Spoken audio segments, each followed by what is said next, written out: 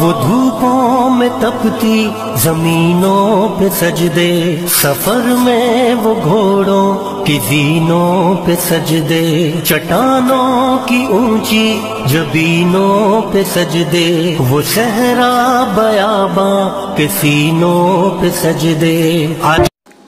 السلام علیکم، میں ضمیر احمد انصاری اور آپ دیکھ رہے ہیں زیڈ نیوز۔ میری آپ سے گزارش ہے کہ آپ نے اپنے چینل زیڈ نیوز کو سبسکرائب نہیں کیا ہے تو ابھی کریں اور ساتھ میں دیے بیل آئیکن کو بھی دبا دیں، جس سے ہماری آنے والی سبھی ویڈیو کے نوٹیفیکیشن آپ کو ملتے رہیں۔ شکریہ۔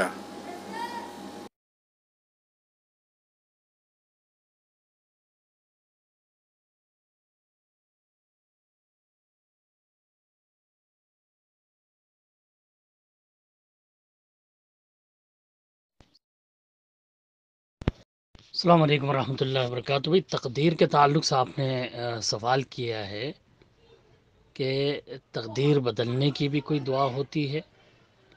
اگر ہوتی ہے تو بتائیں، اور اس دعا کی فضیلت کیا ہے؟ اور اسے کس نیت سے پڑھنا پڑھیں؟ کیونکہ انسان تو تقدیر بدلنے کے متعلق بہت طریقے سے اپنی تقدیر بدلنے کی سوچ سکتے ہیں۔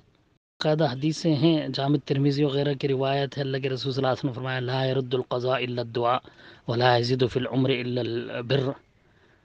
کہ تقدیر کو سوائے دعا کے کوئی چیز نہیں بدل سکتی اور عمر کو سوائے نیکی کے کوئی چیز بڑھا نہیں سکتی۔ تو واضح حدیث ہے جس میں اللہ کے رسول صلی اللہ علیہ وسلم خود بتا رہے ہیں کہ لا يرد القضاء الا الدعاء، کہ تقدیر کو جو ہے وہ دعا ہی بدل سکتی ہے۔ جامع ترمیز وغیرہ میں ہی ایک، وہ بھی روایت ہے جس میں ہے، اللہ کے رسول صلی اللہ علیہ وسلم ان الدعاء ينفع مما نزل ومما لم ينزل فعليكم عباد الله بالدعاء.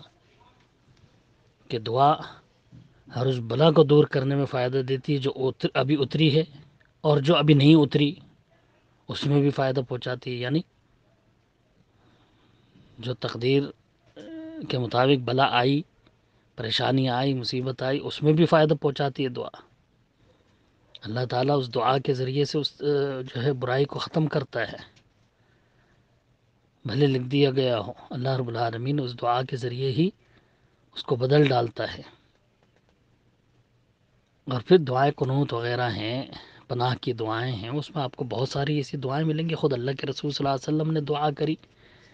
دعا قنوت میں آپ پڑھتے ہیں نا وطروں میں وقنی شرما قزعید فعن کا تقزی ولا علیک کہ اللہ تو مجھے اس چیز کے شر سے محفوظ رکھ، جو تو نے فیصلے کر دیے ہیں یعنی تقدیر میں جو تو نے لکھ دیے ہیں، اگر برائی لکھ دی ہے تو اس کے شر سے مجھے بچا لے۔ کیونکہ تو ہی فیصلے کرتا ہے، تو نے ہی تقدیریں لکھی ہیں۔ تجھ پر کوئی فیصلہ نہیں کیا جاتا، تو فیصلے کرنے والا ہے، تو حکم کرتا ہے۔ اور وہ دعا جو عموماً نمازوں کے بعد پڑھتے ہیں اللہ من جہد البلائے ودر کی شقائے وسوء القضاء و شماتت الادائی وسوء القضاء، کیا ہے یہ؟ کہ جو تو نے قضا لکھ دی، فیصلہ کر دیا تقدیر لکھ دی ہے، اس کی برائی سے بھی ہم تجھ سے پناہ چاہتے ہیں کہ تو اس کی برائی سے ہمیں بچا۔ یعنی جو برائی ہمارے لیے لکھ دی، اس کو ہٹا کر کے تو اچھائی لکھ دے۔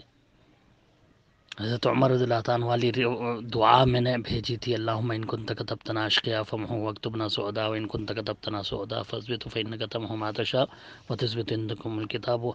دعا ہی میں نے بھیجی تھی، جس پر آپ نے سوال کیا تھا پچھلی بار۔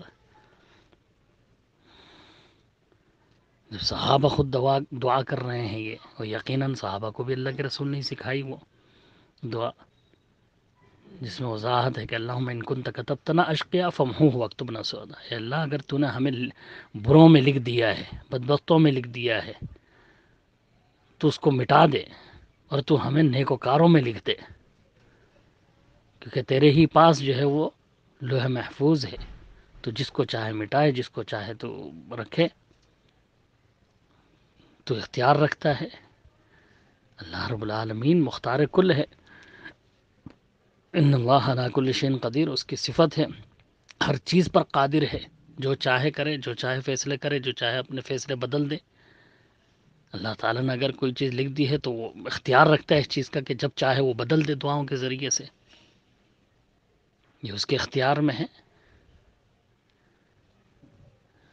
تو یہ کوئی ایسی تعجب والی بات نہیں ہے کہ ہاں بھئی دعا کے ذریعے سے تقدیر بدلنے کا مسئلہ اتنا حیران کن ہو کہ اس کے تعلق سے بار بار پوچھا جائے یا سمجھ میں نہ آئے بات؟ اللہ تعالیٰ جو ہے ہمیں صحیح دین کی سمجھ عنایت فرمائے۔ ایک بار پھر میں آپ سے ریکویسٹ کرنا چاہوں گا کہ آپ اپنے اس یوٹیوب چینل زیڈ نیوز کو سبسکرائب کریں لائک اینڈ شیئر کریں۔ شکریہ۔